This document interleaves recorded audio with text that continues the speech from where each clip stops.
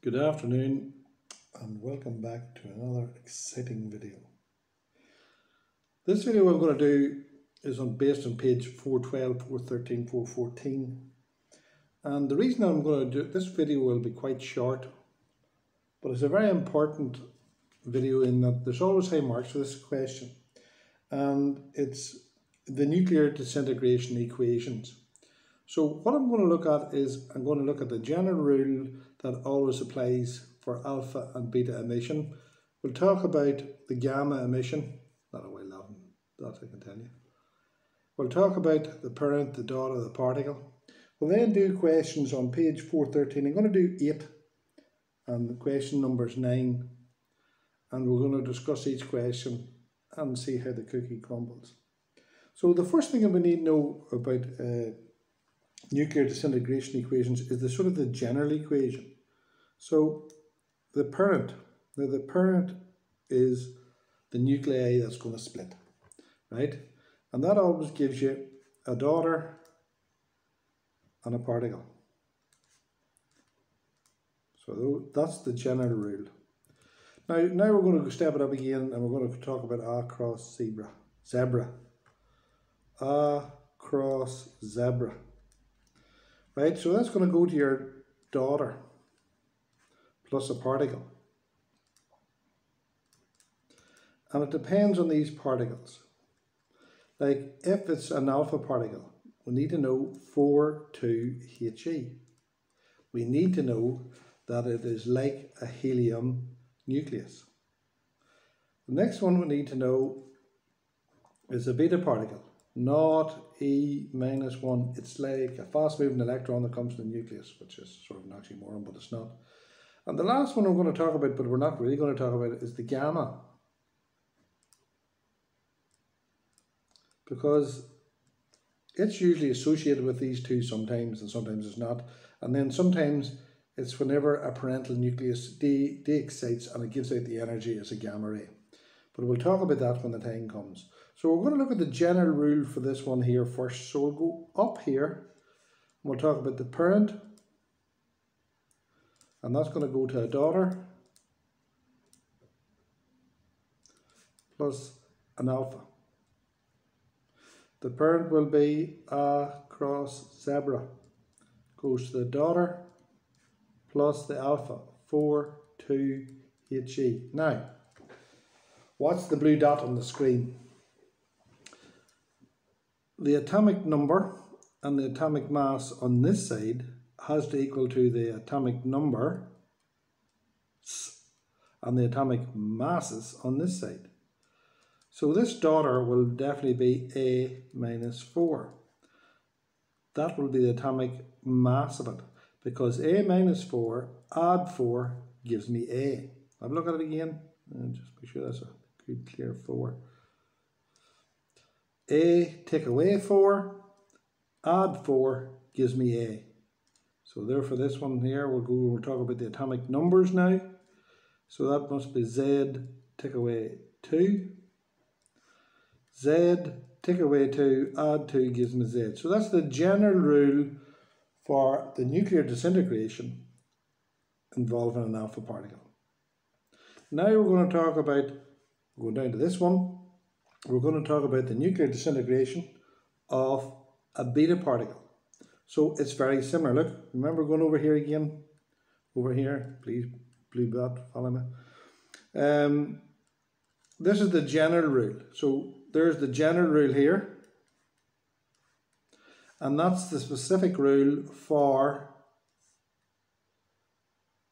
alpha emission. Now I'm going to do the specific rule for beta emission. So parent goes to daughter plus the particle. That's the general rule. Now, the parent will always be X, A, cross, zebra. Yes. The daughter will be the daughter. And the beta particle will be not E minus 1. So if you don't know that, you learn it. A tasteful tattoo on the inside of your forearm is another way of learning it. But I don't think your mother will be too pleased. So, so what's this number here going to be? Remember, the atomic number here has to equal the atomic number over here. So that's going to be Z plus 1. Because Z plus 1 take away 1 gives me Z. What about the atomic mass or the mass number? Well, A plus 9 gives me A. So those are the two equations. And then finally we'll talk about this chap here, the gamma, and all we're going to say is that the parent nucleus de-excites.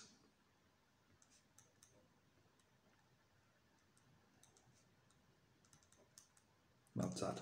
Fair enough? Now I'm going to go, if you follow me to page 413, I'm going to look at question number 8. I'm going to do A, B, C, D, E and F.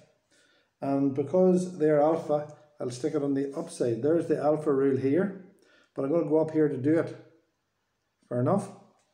So I'm going to do the first one, and I'm going to talk my way through it, and you follow me. But you should open the book at page 413. I'm doing question number 8. This is the best way to teach these.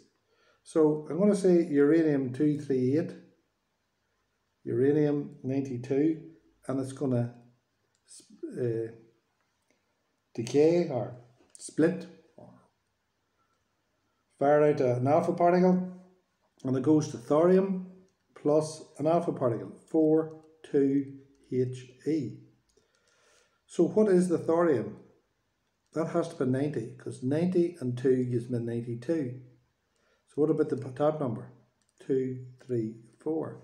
4 and 2, 3, 4 gives me 2, 3, 8. Happy days. Let's do the next one now. It's plutonium. Imagine having that in your sandwiches. So the plutonium splits to give you uranium 238 something plus an alpha particle. Let's see can we fill them in. Well this has to be 92. 92 and 2 gives me 94. So what's the atomic mm, mass number of plutonium? It must be 242. 238 add 4 is 242. Happy days. Now, we'll go to the next one. CF. Not too sure what CF is. You're going to look these all up. I'm not going to look them up. 251 goes to Cm plus an alpha particle, 4, 2, He. Right, so what else am I told here? I'm told that's 96. And because, well, I'll, finish, I'll look these up when I'm finished it. That's 96, and that's 2. So this side, the atomic numbers on this side have to add up, so that must be 98. So the atomic masses have to add up. So that must be, I'm going to get the calculator because sometimes you can be a wee bit au fait with the whole thing. 251, take away 4 and I get 247. So now just check it and never just because of about a laziness. 96 and 2 gives me 98. 247 and 4 gives me 251. Right. I'll do the next couple and then I'll look up what these are. Again, you, you forget these things, they're not going to be Er the most abundant elements that you're going to meet in your life. Right, so what have we told here? That's 170 and that's 70. Well, should be fairly straightforward. These two atomic numbers should add up to this atomic number, so that must be 72. These two atomic mass numbers must add up to give you that one. Happy days. Right, let's do E. I know that's bismuth. Thank God I know something. And that goes to, I believe it's tellurium plus an alpha particle. Now let's fill in the bits and pieces that we have here. Right. Uh, we're told that's 81 and we're told that that's 207. So again, these two atomic numbers add up, that gives you 83. These two add up to give you 211. That's the same as these two added up. That is the same as these two added up. Now the last question.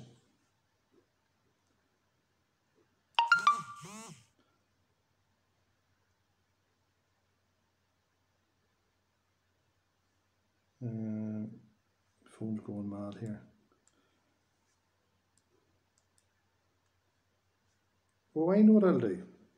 I'll ask you to look these up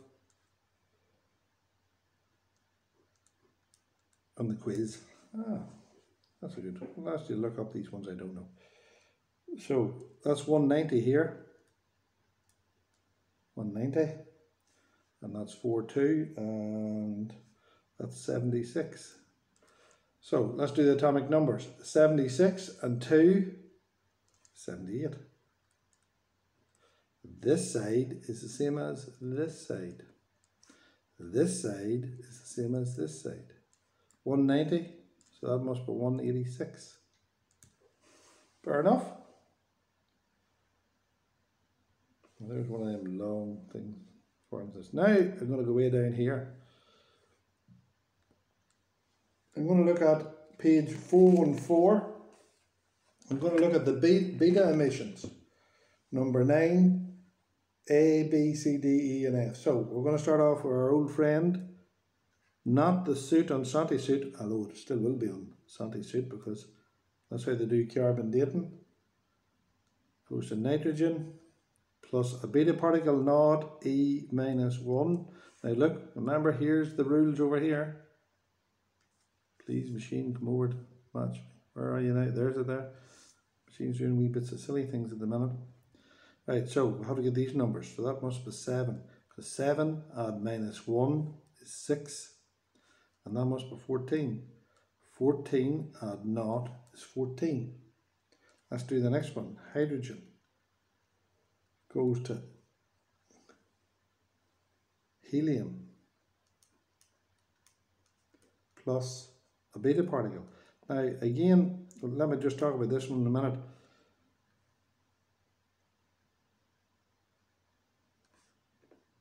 something add minus 1 gives you 1, so that must be 2. 2 take away 1 gives you 1, that must be 3. Now that is hydrogen, but that is actually tritium. It is an isotope, same atomic number, different atomic mass. This is also an isotope of helium. You think of the helium, know it's 4, 2 He. Same atomic number, different atomic mass. So this is an isotope of helium. All right, let's do the next one. Cesium. Cesium goes to Ba, not bracket, plus a beta particle. 56 and 137. Let's see, can we fill in the bits and pieces? Well, that has to be 137 because 137 plus nothing gives me 137. Yes, 137 plus nothing gives me 137. 56 take away 1 is 55. So that's the cesium. Now let's do the potassium one. K, 19. 19 goes to calcium.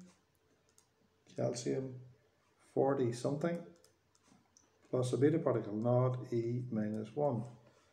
So this must be 20. 20 take away 1 gives me 19.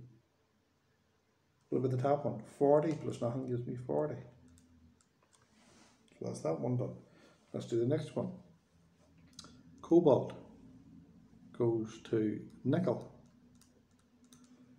plus a beta particle. So what numbers does it give me? It gives me that as 60 and gives me that as 28.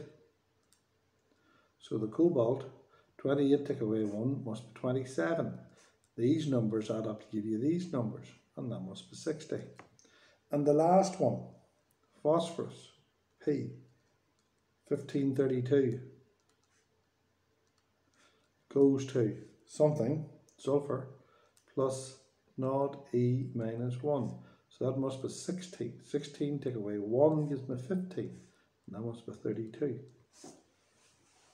And there we have all those questions done. So, quick recap. Parent, daughter, particle. There's really only two to worry about, alpha and beta. There's the alpha one.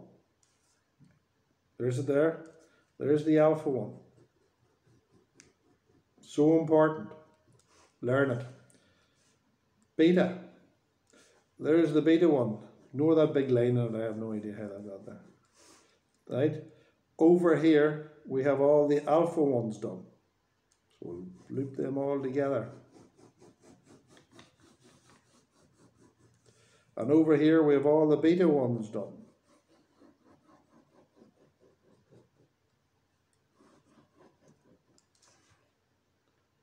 Now, sit down, learn it, and do the quiz. I'll talk to you shortly.